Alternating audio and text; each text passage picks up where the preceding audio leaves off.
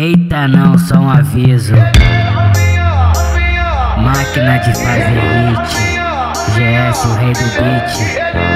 Rei do brega funk.